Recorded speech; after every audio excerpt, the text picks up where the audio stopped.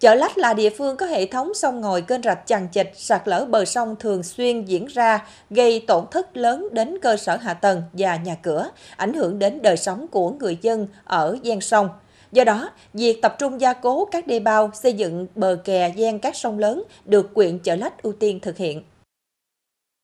Theo thống kê của Phòng Nông nghiệp và Phát triển Nông thôn quyện Chợ Lách, từ đầu năm 2024 đến nay, trên địa bàn quyện xảy ra 3 tuyến điểm sạt lở với chiều dài khoảng 800 m bờ sông kênh rạch. Sạt lở ảnh hưởng trực tiếp đến khoảng 30 hộ dân và sụt lún dưới lòng sông đã gây thiệt hại lớn về kinh tế của quyện. Những năm qua, chợ Lách đẩy mạnh việc xây dựng hệ thống đê bao bảo vệ đất nông nghiệp. Đến cuối năm 2024, đã có trên 242 km đê bao. Diện tích đất có đê bao bảo vệ khoảng 10.250 ha đất nông nghiệp, chiếm hơn 92,1%. Trong đó, công trình được nhà nước hỗ trợ đầu tư cơ bản đảm bảo chống lũ có 126,3 km đê, bao bọc 6.482 ha diện tích đất nông nghiệp.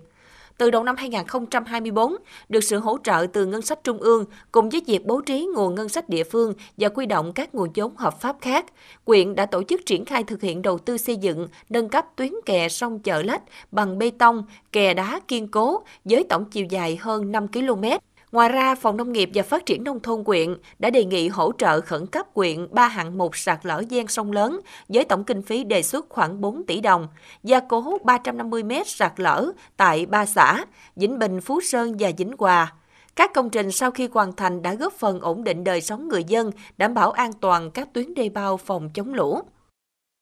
Cái bờ kè sông này nó lở sâu lắm, nó sâu nhiều lắm. Nhưng mà sau này là cách 3 4 năm nay rồi nó bồi tới lại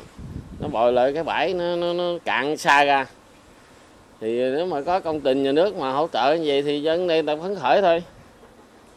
Đó. đem lại được ấy cái cái vấn đề khỏi lo vấn đề lỡ sau này nữa. Huyện đã à, triển khai à, cái à, phương án phòng chống triều cường đến các xã thì à, các xã sau khi kiểm tra các xã thì các xã đã lập cái phương án ứng phó này thì à, hiện tại thì trên địa bàn huyện khoảng à, 300 km trên 300 km đê thì đã khuyến cáo bà con nhân là tôn cao các bờ bao của mình để đảm bảo an toàn sản xuất. Thì ngoài ra thì huyện cũng đầu tư một số cái công trình trọng điểm, gia cố công trình trọng điểm của huyện để ứng phó với cái bão lũ. Hiện tại giờ huyện đầu tư hiện tại khoảng trên 15 km đê cái là dùng nguồn vốn của huyện để cùng với người dân với đảm bảo cái